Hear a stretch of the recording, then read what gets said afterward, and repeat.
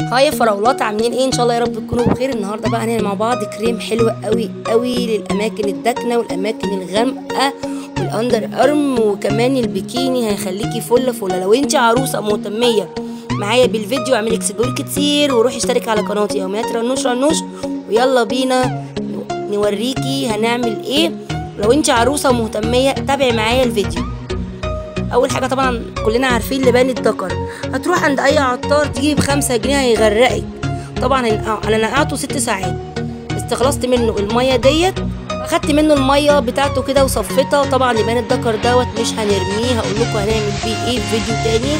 part 2 دلوقتي إحنا هناخد المية ويلا بينا على النار. دلوقتي هنحطها كده في أي حاجة كنكة كسرول أي حاجة. وهنضيف عليها معلقة نشا كبيرة تمام؟ وهنفضل نقلب باستمرار على نار هادية خالص لحد ما قوامه يتقل معانا يبقى كريمي تماما زي كده. أوكي؟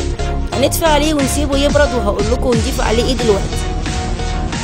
الكمية دي يا بنات لمدة أسبوع فقط لا غير فقط لا غير يا جماعة لمدة أسبوع. جربيها بجد بجد وصفة سحرية لأي منطقة غامقة عندك في جسمك في ركبتك في كوعك. الأندر أرم البikini حلوة قوي قوي قوي خليكي فله شمعة منورة الوصفة دي حلوة قوي طبعا عارفين كلنا زيت الليمون. زيت الليمون طبعا زيت الليمون من الحاجات الجميلة جدا جدا اللي بتشيل بتشيل الكلف والتصبغات. وهتدعي لي بجد من الوصفة دي. حطينا خمس قطرات كده خمس نقط يعني ربع مكيال تقريبا كده على الكمية. طبعا الأول الكريم يبرد بتاعنا. وهنفضيه دلوقتي في برطمان معقم كده نضيف وهنحتفظ بيه لمدة أسبوع وكرريها لمدة أسبوع. أي حاجة اكتبي في ال comment وأنا هرد عليكي. لو عايزة وصفة و bye bye